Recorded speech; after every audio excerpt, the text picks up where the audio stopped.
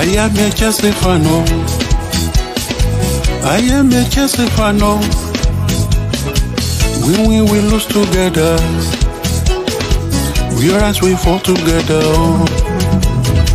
I am a Stefano. I am a Stefano. Oh. When we will lose together, we rise, we fall together. I am a Stefano. I am a Stefano. We will we lose together. We rise, fall together. Together we overcome. Together we can be stopped. Kò ní dára. We will reach those goals we set together. I am a Chelsea fan. I am a Chelsea fan. We will we lose together. We rise, we fall together. Oh. I am a Chelsea fan. oh. Chelsea fan. I am a Chelsea fan. oh. Ọwọ́ ọmọ Chelsea lókè. We will lose together. Together we win. We rise, we fall together. Oh. Kò séwu lọ́rọ̀. I am a Chelsea fan. Irọ́ irọ́ lẹ́lẹ́gàn ń pa. I am a Chelsea fan. Kàbí àwọn ọlọ́tẹ̀ àtàsílẹ̀ o. We will together. Together we can be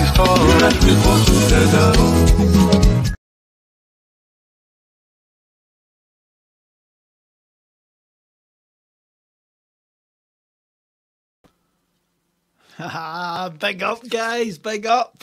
Made it, I made it. I'm just back. Fuck it. Coffee, let's go. right, I've not watched Lewis's stream. I watched, I watched a little bit back in the car there, so I'm not really up to date with the news. I watched a bit at the start for the half hour I was travelling, so I'm up to date with the news. There doesn't seem to be a lot of stuff happened apart from some of the nonsense I thought was nonsense.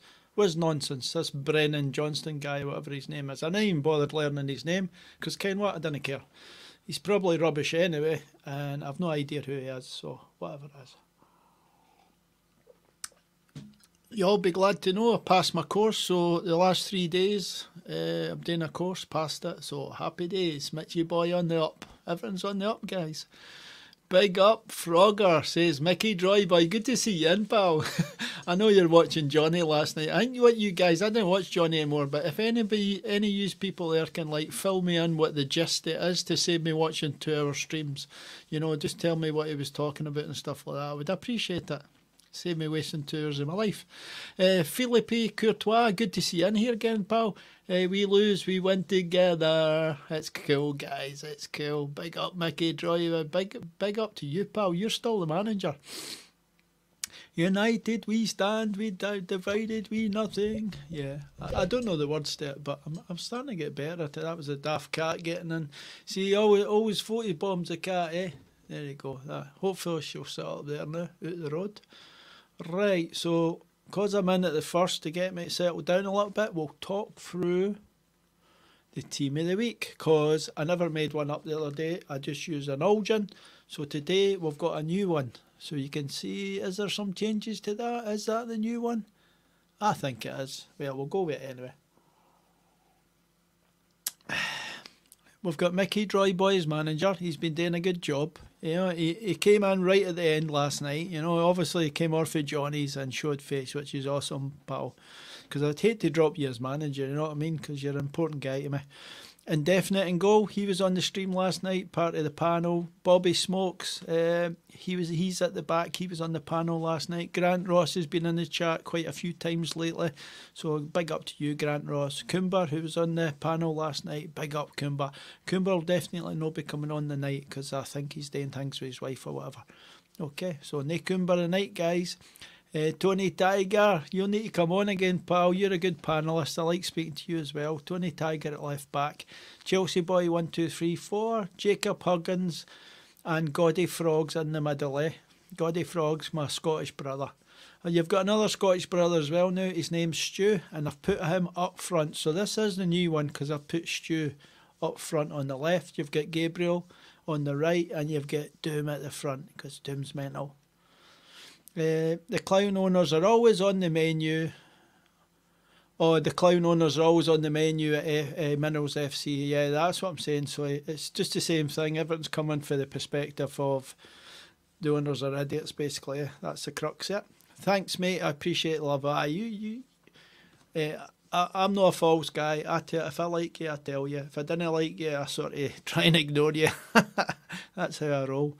Uh, let's get rid of this. I'm stuck. Aye, right, I need to get rid of that. Right, guys, so people are invited on the panel tonight. Uh, what usually happens is one night everybody and their granny comes on, and then the next night nobody comes on, and I have to waffle for tours. So we'll see how it goes tonight, guys. Eh? I know Coomber's definitely not coming, but we'll see who else comes on. Right, and Goddy Frogs owners are mugs facts. I know, but you guys are getting brainwashed watching that for tours every night. You know what I mean? I, I've got different perspectives on things, so I might agree with some of the stuff that gets said, but I also might have another alternative point of view, and I think people should be allowed that point of view. It's just the way I am. Uh, I went down the rabbit hole with you guys for a while, but I've I'll always have my own views. I, can't, I need to move this actually. I'm having to move my head. There we go, guys. That's better. I must have moved my camera and it's in the road of the, the chat. So let's go, let's go, let's go. Uh, Mickey Droy Boys. Frogger got elite mentality. He knows the Apple Core. this is the best. Of it. I mean, uh, Frogs was like your king wronging. Him and Sean Newlands were the bad boys. Now he's right in with you boys. Eh? He's one of the minerals uh, ultras. What do you think? It wasn't that long ago he couldn't even speak in the chat. He'll be getting moderated soon. What do you think? Uh, what do you think, Mickey Dryboy? He'll be getting moderated soon. Bill Cosby FC under Todd Bundy Boehly. awesome. That's why I, I like having you about the place, Goddy Frogs, because you always make me laugh, pal. You always make me laugh. yeah, opinions are like bum holes. Everybody has one. yeah, and sometimes they stink as well. Which I think Mickey Dry Boy. Aye, uh, it's cool, man. Uh, obviously, subscribe, all that nonsense. You can read that. I'll no bother blaring that out. Right, we'll go on to actually talking about football. Do you think? I've got no slides there. Fucking hell. Right, I've got notes, but I've got no slides. Oh my god. It's okay. I've got notes so I can blather nonsense. Okay. The thing is, last night five panelists on. They could hardly get a word in because everybody, uh, none of them gave like two second answers. Eh? so it was like a three hour stream and everybody was having to sort of like fight to talk and stuff. Tonight I'm on Mo and I'll just have to crack on with it. Right, guys, you want to pick a team for Luton? Now, the only thing, the only caveat I've got to picking a team at the moment is there's this rumour about Mudryk not not being in training and stuff like that. And I don't know if Lavia was in training with the team as well. There's some sort of little rumours about these two guys. So they they guys they guys might be uh, they might be doubtful, but we don't know for sure. It could be anything. There was also a fake report that Mudryk was on a flight to Madrid, and it was a, it was just a fake news because it was an old picture or something. Goddy frogs, Bobby out waffles you, man. What do you mean, Bobby? They all out waffle me. I've got to fight to get in, man. It's like a battle. It's like fucking gladiators. oh my god! I'll tell you what though, the they all talk sense. They all give good, solid points of view, and they're worth listening to. But I, I just worry about them all getting to get a wee shot, you know. So I try and keep it moving around the panel. But it's all good stuff. Like no, nobody really talks nonsense. I think I, I think I'm more inclined to talk nonsense than they guys. Eh? I've got a bit I've got a bit more nonsense about me than they guys. Ah, the coffee, the coffee's helping. I'm absolutely shattered, but we'll just rattle through it anyway. Uh, if everybody thought the same, we might as well be robots. That's the thing, Mickey Dryboy people can come in here with a, a, different point of view now, and I'll accept that point of view and I'll let them talk, and then I'll give my point of view and move on. See, in the past, I would have been growling at somebody uh, if they had the different point of view me. So I've grown, you know, I've changed, and I've only like changed in about the last, it's probably the last nine months or something. I've changed over that period. Because I, I was I was like adamant that you couldn't slag off players and things like that, but I've changed. So people can change. That's the thing. And I'm quite old, so old people can change. If I can change, uh, everybody can change. Like at Goddy Frogs, he's actually changing into a bad person of a good person, which I to be fair, me going against the owners was more when they refused to fire Potter. That and that January spending spree. Yeah, it's fine with people wanting to back the owners, but I think some are doing it blindly. Yeah, that's the problem, buddy. I think you, I think you guys have hit the crux of the matter, right? Don't blindly follow a player. If if their form dips and all that, we can have discussions about that, and we do on this channel. So if if if Sterling's been shit all season, he's been shit all season. He played well the other day he played well. We're not in the mud because he played well. I wanted him to play well all last season. I wanted the whole team to play well last season, but they didn't. It was awful. And that was probably due to a lot of factors, but certainly Jellyfish Potter was a part of that. Plus, these owners, like you say, you guys, it's like, I'm not saying the owners are perfect. I, I can see they've got a vision and there's a lot of things that they do well, but they're making a lot of mistakes as well. Because they've now gave uh, Pochettino, they're flinging a lot of boys at him, and not a lot of experience. And we're going into one of the well, probably the toughest league in the world with a lot of wee boys and with very little top flight experience. Plus, a lot of them are coming to the, the English Premier League as well. They're coming from other countries where they've not played much football. So it all compounds, right? And and what happens is the other day it broke down a little bit. I think Poch is a really good manager, but he's not really getting the tools to do the job. The tools might be good in the future. They might he might develop the team, but he's only got a two-year contract or something like that. He's he's not got a long, long contract, so he's got to earn. He's got to earn his next contract, and that's what I hope he does. I hope Poch earns his next contract. He gets this team absolutely balling. He develops every player or tries to develop them. And if players like Sterling, they can't turn them round, we get rid of them. But he's turned Sterling round, so I didn't want rid of Sterling anymore because I seen a fantastic player the other day. So I'm not bothered about Sterling. So Sterling gets that place in the team, but he has to play like that. That's the thing. We're not just going to play him because of the, oh he's got titles at Man City. Who gives a fuck if he's got titles at Man City? I didn't care. It's only what he does in the park for Chelsea, and he was shit. And he wasn't just shit as in like you know somebody who says something shit and then there's nothing in it. He, was very very poor on every aspect, eh, pretty much everything. He didn't work hard. He couldn't retain the ball. He wasn't getting by people. You know every metric you can think of, he wasn't very good. And then look at him yesterday, and Liverpool improved as well. So Liverpool improved a bit.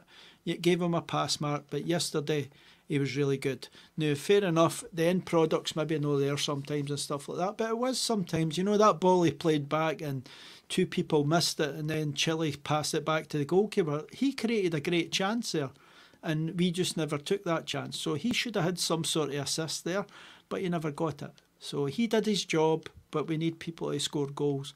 And that's one of the questions I asked last night in the panel. And if we get a panel in the night, we'll ask him again where's our goals going to come from? Because I still can't see where our goals are going to come from. It's okay doing it against Wrexham in a pre-season friendly, but it's different uh, when you play in the Premier League. And the other thing as well, we had a lot of wee boys playing all the time. The wee boys aren't even getting like guys like Maatsen who balled out on pre-season. He's not getting a game. Santos who played a lot of the games in pre-season did a lot of minutes. He's not getting a game. So we're bringing in different players again. So it, it's not really working at the moment, but hopefully, who's the next one we play? Luton. Luton. I want a positive result. I want a step in the right direction. That's what I'm wanting. That's all I'm asking for. Uh, we have to win the game. 1 0 will do me. 2 1 will do. Whatever it is, but just win that game. And that will help the guys settle in. That will give us a bit of confidence. We'll start getting a bit of momentum. And that's all I'm asking. You know, we don't. Uh, I want top five, right? I want Champions League next season because it makes sense. If we get Champions League, it helps everything, you know. And we don't want to Tuesday and Wednesday nights, you know. We don't want to be watching Celtic or fucking Man United or whatever all playing the Champions League. We, we want to be in the nights. Now I'll be working the nights a lot of the time anyway, so it's no selfish point of view. It's just that is good for the you know the club as a whole, how we're perceived around the world. It all makes a difference, market and things like that. So we've talked about these things anyway, but that's what it is. The whole package. You need to be seen as an elite team because a lot of fans talk about being an elite team, but we'll not be an elite team if we're not in the Champions League. My opinion, anyway. We need to get Champions League. Right, let's go into chat. Uh, Mickey Droyboy, I couldn't slag off any players to be honest, even the ones that left. I squarely blame Clearlake for mostly everything. There's been a lot of mistakes, Mickey Droyboy, uh, but you can also see they've did a lot of things right. And obviously for the future, the, the way they're structuring the club with the, the cutting the wage bills and stuff like that, we, we would all make different decisions. And even though I'm no I'm no backing the owners and things like that, but I, I wouldn't have let Mount go. I would have signed him up. You you guys know that, but they've done it. And it, if they're going to, the only thing I'll say is if they're going to have this hundred grand a week with incentives and all that, stick to it. Do not do not bring in a Felix on two hundred fifty grand a week, three hundred grand a week, because then there's no point in getting rid of like a Mount or a Kai Havertz because you, you're just, you know, it's pointless. So if we're going to stick to this model, stick to this model. I, the other thing I'll caveat all this with as well is I don't know if it's going to work. Are, are we going to bring in a young team and young guys with not a lot of experience and we actually compete with teams who are fully experienced players, you know, big, strong men? And and we're putting like young players against it. I don't know if it's going to work. I don't know if the team we're putting on the park is going to get us top five, but that's what I want, and I can see the talent in these players. But you've got to remember as well, uh, teams in the past, maybe a Barcelona, maybe the Spanish team and things like that, they were small guys, but they were skillful and they played teams off the park. So maybe we don't need the big donkeys all over the place. Maybe we can do it with more athletic, skillful players. So that's all down to Pochettino. The only thing I'll say about Pochettino, it's not even about the owners. He needs to be a bit more positive with his team selection. I, I don't want to see Chilly playing as like a left winger. I want to see a left winger playing as a left winger because see if you take on men and get by men with space like Sterling did the other day, it creates havoc and it creates space. Whereas if you've got these pass sideways merchants like Chilwell, the ball's not going to get progressed forward enough. I mean, he he is a threat sometimes and stuff like that, but is that enough to get us a lot of goals during the season? I don't think it is uh, because we were 12 last season. We had some of these boys in the team. We're just not going to score enough goals. The biggest thing about Poch is he needs a solution to get us goals. Everybody thinks we're going to get this magical striker and, and everything's going to be fixed. You know, oh, we'll get Osimhen and everything's fixed. It might not be that simple, guys it can be general play, it can be creating chances. Because a lot of the criticism of Mount and Havertz was they weren't creating chances and stuff like that. So if we're going to bring in other players, they have to be better and they have to create more chances, or it's just the same thing. So you're getting ready players, bringing other players in, and you're taking a big risk, and they're not any better. So the players have to be better. Right, I'll, I'll just go through the chat because it's a bit busy. Goddy Frogs changed the entire squad and Vertet is still out. If that's good or not, they've done Poch no favours with these massive changes. Exactly. You can't have a change like that and expect everything to be hunky dory, and it's obviously no hunky dory. I think we got away with it in the first match because we we were just sort of solid against Liverpool and we got the draw.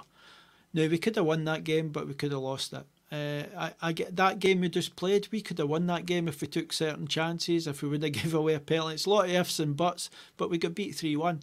So we've seen this over the seasons. We we're prone to get beat four one by teams that are no rated. We've been doing it for quite a few seasons. There's this soft underbelly. So we're changing some of the players, but we're still getting the same results. It's like the other team just goes up the park and we lose a goal you know, and that's been happening for a while, for what I can remember. And even with changing the players, same same things happening. It's this three at the back. I think it's it doesn't work. I think you need two people to take responsibility, defend properly, instead of having three people at the back and nobody really takes responsibility, and you know you lose the goal anyway. Mickey Dry Boy